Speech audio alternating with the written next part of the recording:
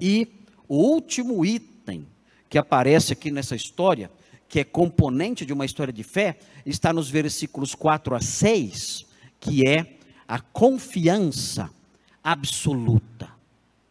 Chega o um momento na história da fé em que há uma, uma confiança completa, absoluta, um render-se. O homem de fé se rende. Ele se rende plenamente àquilo que Deus prometeu e confia plenamente naquilo que ele disse, haja o que houver. E ele então segue o seu caminho confiante, sabendo, o Senhor vai realizar a sua promessa um dia, haja o que houver. Eu sei em quem tenho crido. Eu sei. E ele vai cumprir a sua promessa. Nós, nós, o homem de fé chega ao ponto em que, em que chegou o próprio Jó. Ele disse: Olha, eu perdi tudo, eu não tenho mais nada.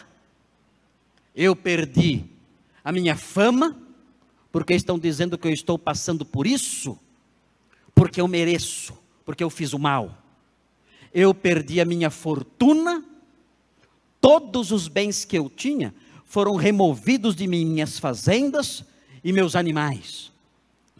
Eu perdi a minha família, os meus filhos todos morreram, todos foram mortos, num terrível acidente mandado pelo próprio Deus, pelo próprio céu. Tudo isso aconteceu. Perdi minha fama, minha fortuna e a minha família ele disse. Tudo isso aconteceu. Não tenho mais fama, não tenho mais família, não tenho mais fortuna. Mas há uma coisa que ainda tenho. Eu sei que o. O que, que ele tinha? Meu. Eu sei que o meu redentor vive. Eu perdi a fama, Perdi a família e perdi a fortuna. Mas ainda tenho uma coisa: eu tenho um redentor. Eu não perdi a fé. Eu tenho um redentor e eu sei que um dia eu verei, esses olhos o verão e não outro. Essa é a confiança inabalável acima das circunstâncias que compõem a história da fé verdadeira.